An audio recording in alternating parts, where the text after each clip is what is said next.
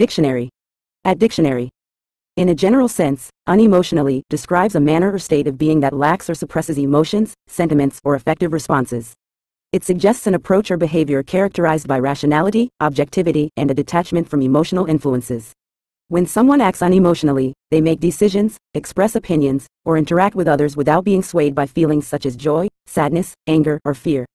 This term can indicate a deliberate effort to prioritize logic and reason over emotional impulses, maintaining a calm and composed demeanor even in situations that might typically provoke strong emotional reactions.